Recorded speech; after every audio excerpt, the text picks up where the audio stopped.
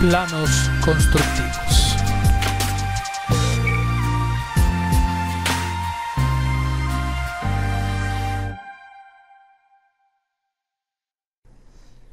Y bueno, cuanto a la experiencia, si ustedes recuerdan, a, bueno, a un autor que yo admiro bastante es Oscar Wilde y él dice, la experiencia es un nombre bonito que le damos a nuestros errores. Y es la verdad, ¿no? Y es algo bien interesante porque sí, desgraciadamente se aprende a punta de errores. El que diga que no se ha equivocado en la obra, que no es una burrada, pues como que no le creo mucho. Y es bien interesante porque la construcción, y esto lo digo más que nada, este video va enfocado porque hay gente que me dice, oiga, ¿cómo ve? Me dedico, por ahí me preguntó uno el sábado pasado, que vive en Aguascalientes, y dice, pues me da pena contratar al Arqui, quiero dedicarme a vender departamentos, etcétera.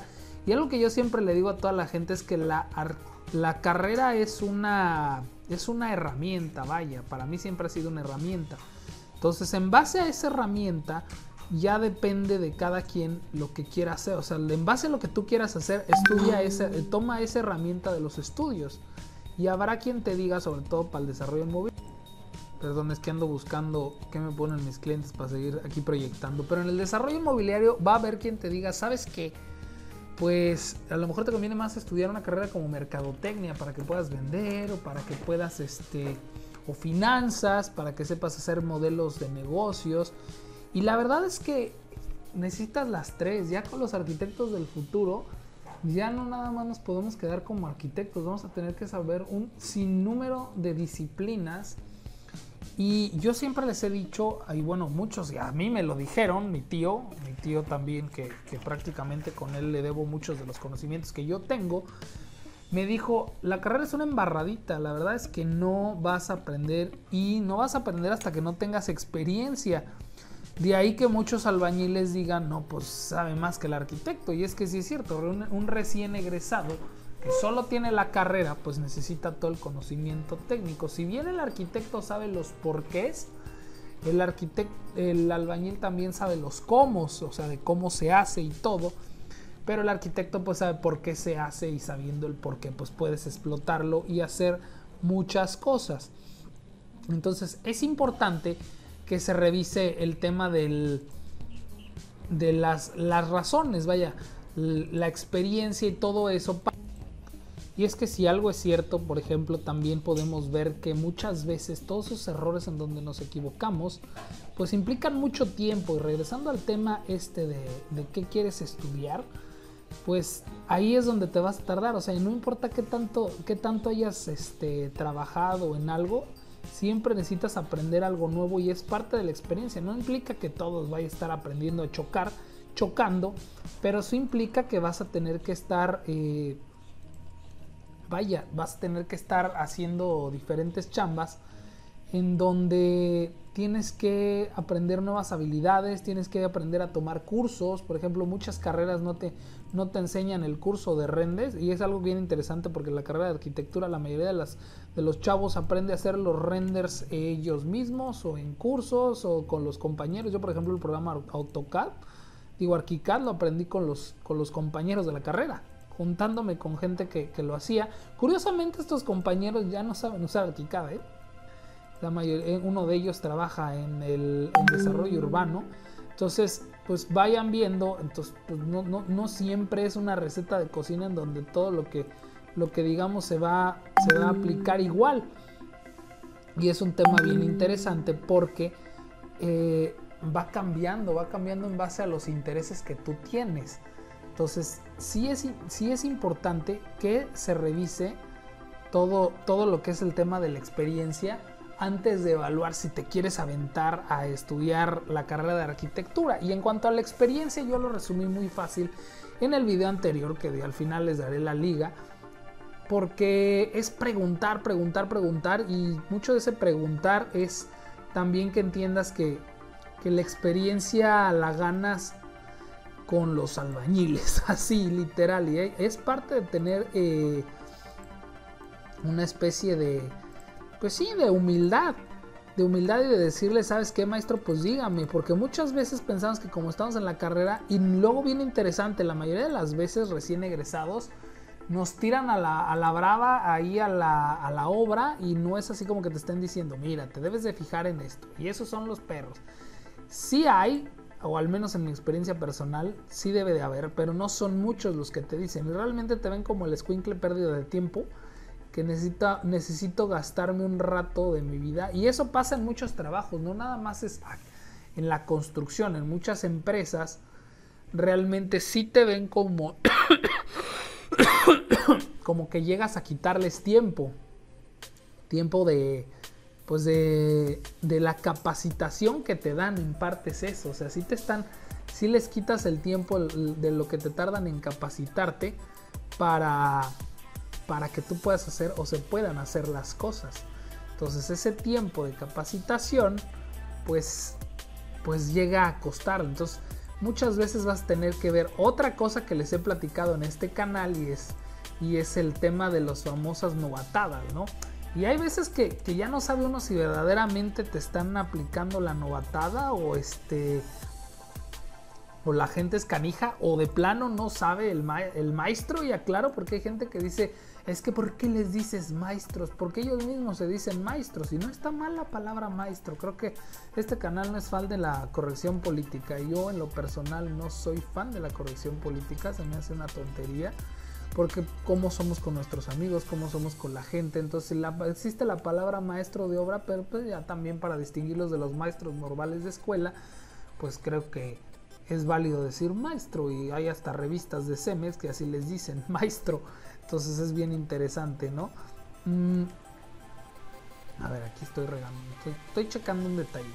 Y bueno, pues eso es bien importante, que puedas tú apalancarte de la, no solo de, ti, de tu experiencia, también es bien interesante porque te puedes apalancar de la experiencia de las personas con las que estás trabajando, porque para hacer las cosas no, no es una sola disciplina. Yo les he, he dicho en el transcurso de este canal que no nada más es arquitectura la que interviene en muchas cosas, sino que también hay que apalancarse uno hasta de la, del mismo maestro, uno como arquitecto, oye, Guille, este, este procedimiento, este acabado, chucum o este otro, ¿cómo lo has usado? No, pues no lo he usado. Ah, entonces, cuando no lo has usado el maestro o cuando no lo has usado tú, pues ni modo, vas a tener que calarle y vas a tener que leer. Y eso es algo bien interesante porque quieren, ay, Arqui, las tablas de rendimiento de bla bla bla y de Wachismerris y amigo, a veces, hay veces que hay, la, construcción está avanzando tanto y a pasos tan agigantados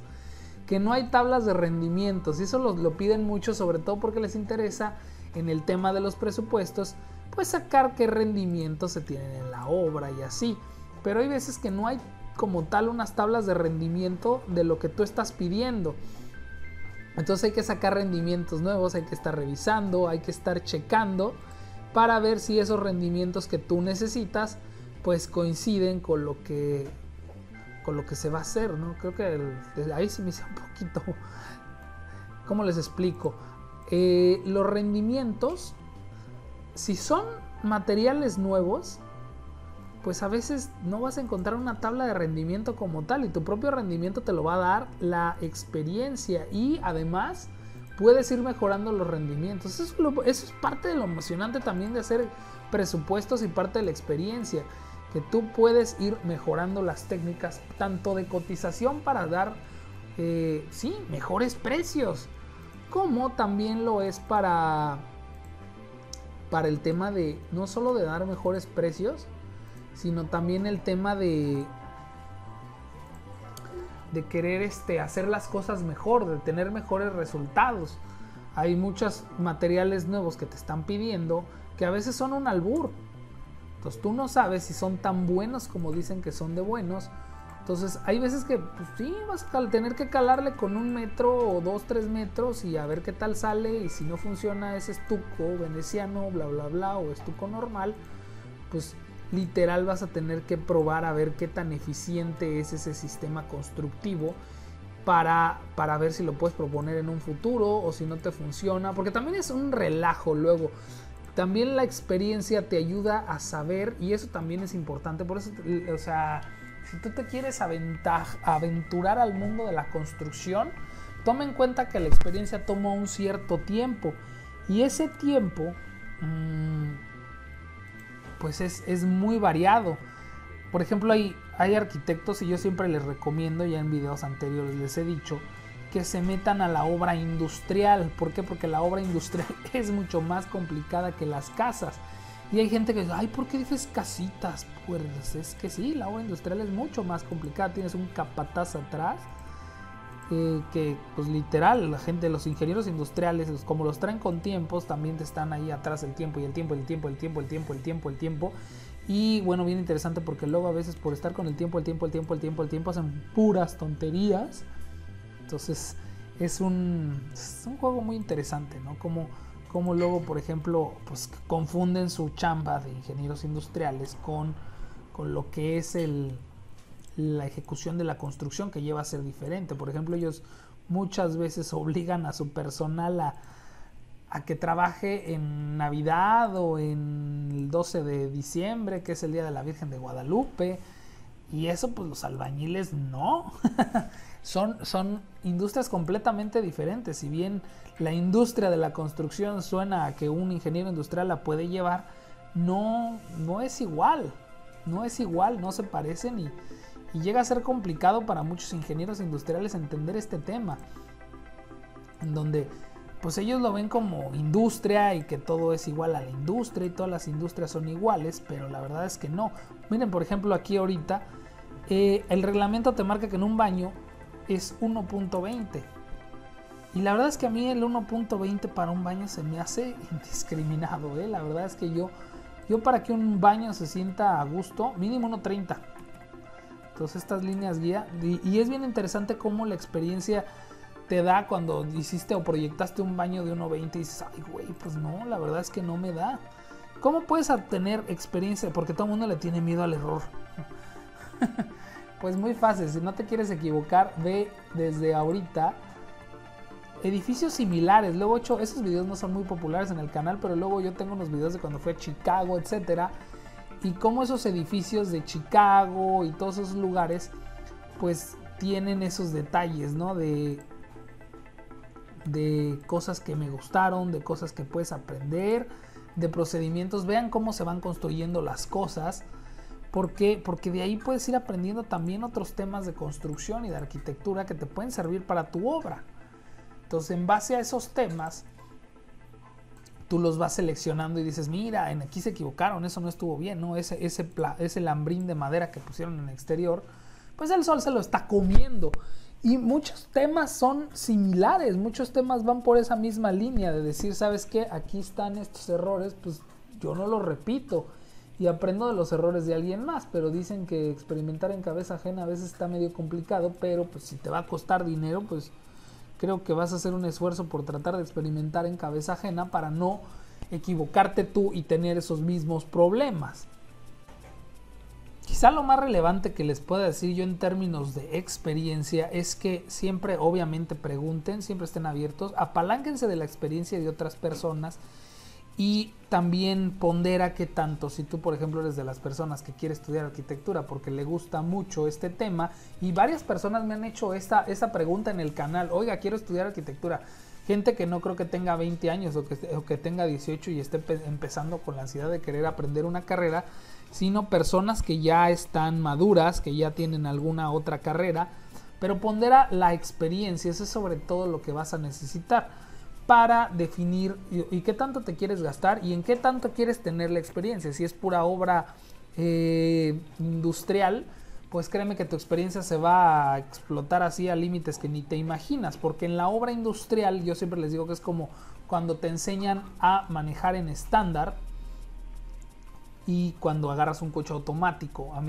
Y cuando tú empiezas desde la obra de casas, pues hacer casas es eh, como si aprendieras a hacer, como si aprendieras a manejar en un auto automático. Hacer las casas es, es un poquito más simple. Tengo, y aquí hay que hacer la aclaración, que no es lo mismo que hacer casas en serie. Y ya después hablaré un poco del tema de las casas en serie, porque también es otro show. Ya que las casas en serie se manejan con esquemas muy, muy, muy distintos a la obra. A la obra regular, a la obra de casas cuando es este de, a nivel residencial, las casas en serie que ya son más de interés social, pues traen otros, otros detalles y se cobran diferente y le pagan al maestro diferente, le pagan bien poquito y eso es bien interesante. Entonces, enfócate en qué tanto tiempo te va a tardar la, la obra. Yo más o menos le he hecho unos dos años, pero no creas que con la carrera es suficiente. Vas a tener, y es por eso que a muchos estudiantes les digo desde ahorita, métete a obra. Es una ventaja que tienen las personas que estudian medicina a los que nos dedicamos a la construcción. Las personas que estudian medicina, pues ya desde que están en la carrera ya están haciendo sus prácticas, ¿no? Ya están trabajando, ya están haciendo eso, cosa que en la construcción deberíamos de hacer y las escuelas deberían de permitir y dejar horarios que permitieran esta práctica. Pero quiero, que, quiero dejar bien importante que la experiencia es tremenda en la construcción para, pues, para todos los fines que tú quieras.